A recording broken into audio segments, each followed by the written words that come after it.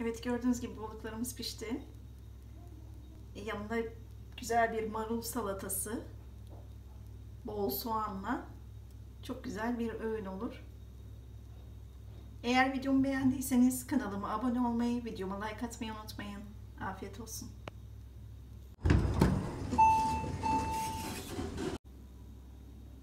Herkese merhabalar. Kanalıma hoş geldiniz. Bugün sizlerle birlikte çinekop kızartacağım inşallah. Ee, çinekopumu kızartmak için ben çinekopum e, güzelce temizlenmişti.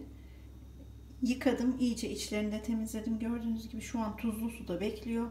Birazdan süzeceğim. Ee, malzemelerimi de hazırlayacağım ve kızartmaya başlayacağım. Evet gördüğünüz gibi az önce göstermiştim. Ee, balıklarımı süzdü. Şimdi eşim onların güzelce e, kafasını kesiyor. Ben de hemen burada bir su bardağı mısır unu, bir su bardağı normal un, bir su bardağı da sıvı yağım var kızartmak için. Tabii e, bir yemek kaşığı da tuzum var. Hemen malzemelerimi şöyle ben de karıştırayım. Çünkü balığımızı harca bulayacağız.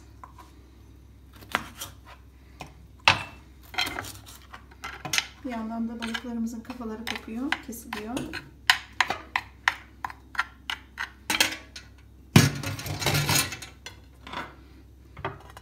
Şunu da alayım ben.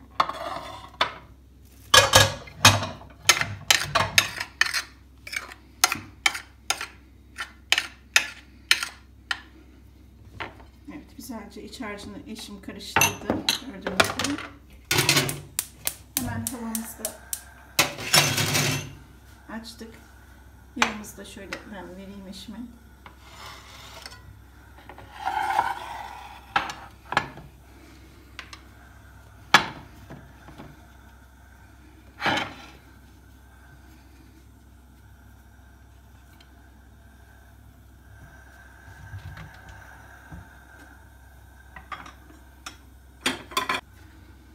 Evet harcımızı balıklarımızı güzelce buluyor.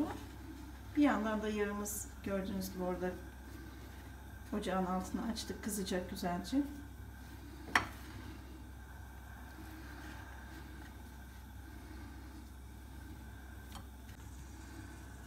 Evet gördüğünüz gibi balıklarımızın bir kısmını eşim güzelce harca buladı.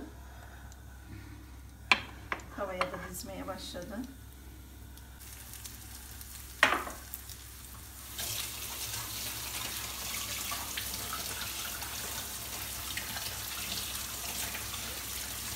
Benzin yerinde birazdan bulayıp birazdan yapacağız.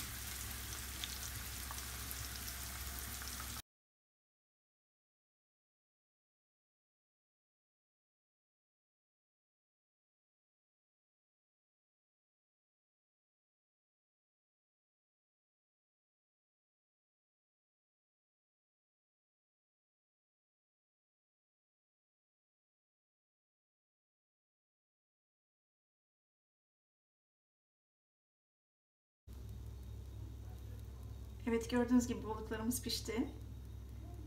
E, Yanında güzel bir marul salatası. Bol soğanla. Çok güzel bir öğün olur.